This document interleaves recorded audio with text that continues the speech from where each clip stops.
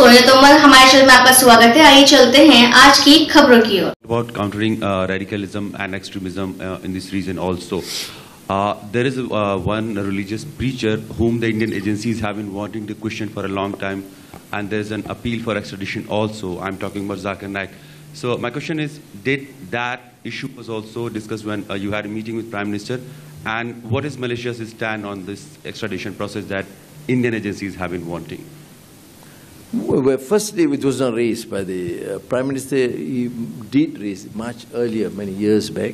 But the issue is, uh, I'm not talking about one person. I'm talking about the sentiment of extremism, of uh, compelling case and uh, evidence that suggest the um, atrocities committed by an individual, or group, or faction, or parties. These are of concern to us.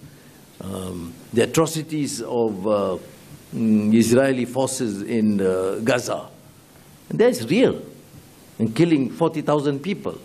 That is atrocity. That is fanaticism to our D, to our- as far as I'm concerned. Now, issues raised by countries to contain, uh, to, to, to secure understanding, and uh, to ensure that uh, we have good bilateral relations would continue. And, and uh, we are open to any ideas, and if evidence submitted, we, we, we will not condone terrorism.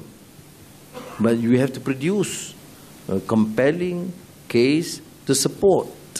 Uh, and, and we have been tough. We've been uh, working together with India in many of these issues against uh, terrorist cells.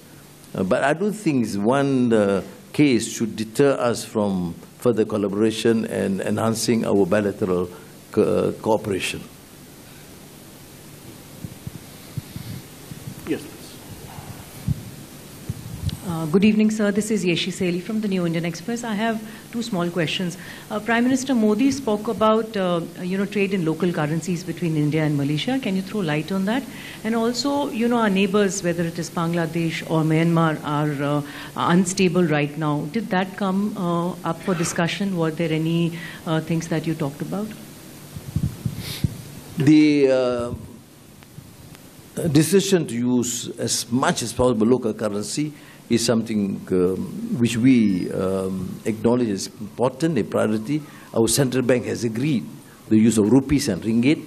Uh, we have done so successfully, at least, at least 20% of our trade with China, or 18% with Thailand, or close to 20% with Indonesia. So we're expanding this um, to use local currency denominations in our trade. And um, I certainly uh, responded very positively to the um, proposal by uh, Prime Minister Modi on the need to uh, use local currency, rupees and ringgit.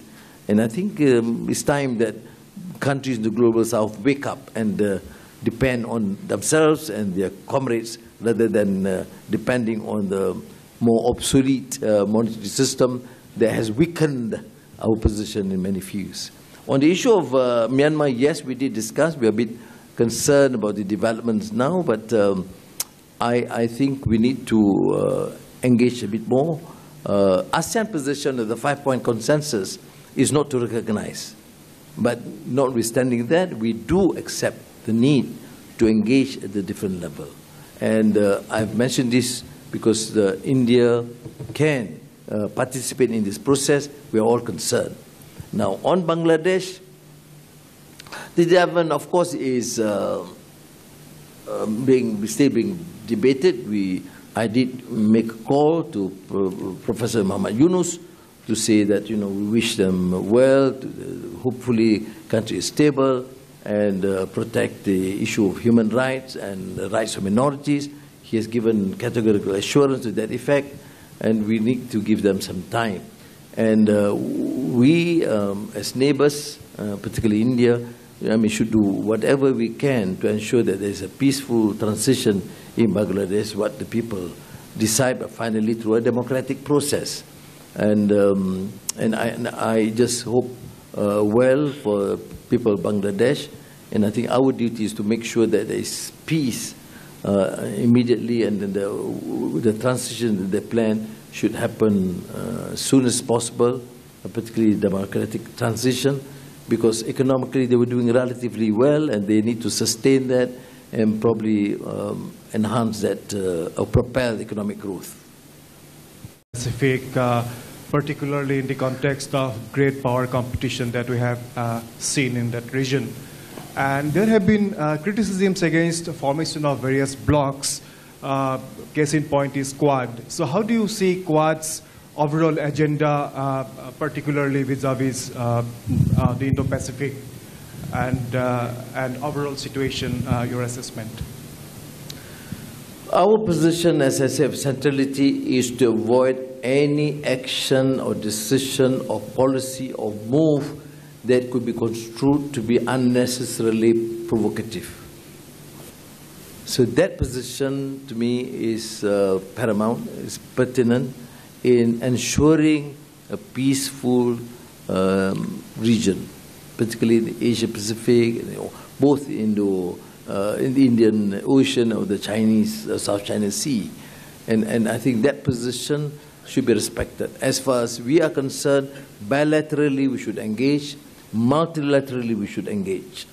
Um, so any move that it could be deemed, it may not be uh, intentionally uh, construed as provocative, but if it's seen by the other side as provocative, you need to engage and avoid because there's too much at stake. And, and to me, politics and governance is about welfare of the people, not ego of one or two personalities. Um, we, our people have suffered uh, immensely, um, and it is uh, our commitment, uh, having leading governments and leaders, to ensure that we have policies that remain sane, uh, to focus on the welfare of our people. And this is, the, to me, an excellent time post-COVID after such a um, hardship. It is time that we refocus. That is why I, I can, for example, be strong in some of my issue, views, be, be it the um, oppression in Myanmar or the uh, colonization of um, Gaza. But uh, for our region, we should uh, avoid. We have learned in the sub-regions where there is calamity, where there is wars, it is the people that suffer. Thank you. All right. Uh, we have overshot our time, but since Prime Minister has been so kind in answering questions, yes, we perhaps can have one or two more, please.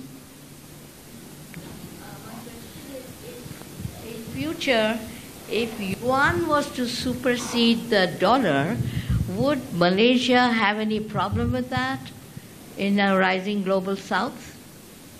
Mm. You ask about the future. Normally, when people ask me about the future, I say, "Que sera, sera." no, no. Jokes aside, no. I, why should be tight? I mean, we use the dollar. It's still an important agency for exchange, but why should we be obsessed or dependent on that? Uh, what we are doing now is to uh, work uh, on a viable alternative that will be be more just. I told the um, Prime Minister during the bilateral session, you know, last year, investments grew, uh, growth was uh, impressive, inflation was down, low, 2%, uh, unemployment 3%, and still, major attack on the ringgit. Nothing to do with economic fundamentals, just what Fed in Washington, D.C. decide. So I, there's nothing much we can do except to use other avenues where we can help resolve and ease the impact. That is why, whilst we still de are dependent in some areas, but the transactions in dollars, but we use uh, uh, uh, our own um, local currency denominations to uh, ensure that at least we have certain percentage um, into our deals that could uh, probably reduce the negative impact. Because finally, in, in, in managing an economy, uh, we talk about fundamentals. Well, the fundamentals are well guarded, and there are tough measures. Subsidy rationalization, getting ensure that the quality education and public health and, and basic infrastructure all being done, and, and uh, good governance, wiping uh, or combating against excesses and corruption, all moves are being done. But still, we are finally subjected to the decision at the Fed. This, of course, is nothing about a fair international financial international architecture. No. I used to be uh, one time even chairman of the World Bank and IMF or Development Committee. My, my position remained consistent. I mean, the over dependence of a system that do not uh, cater for the interests of the majority, or the principle of just order, be it in the trade or in financial architecture, is uh, cannot be um, accepted any longer. Now, since we do not have the capacity to change now, we do it in our own way, at least reduce the impact. And I think if we can use, the, for example, with the uh, $20 billion trade or $80 billion trade, a fraction, 20%, 30% in our local currency, it will ease the negative uh, impact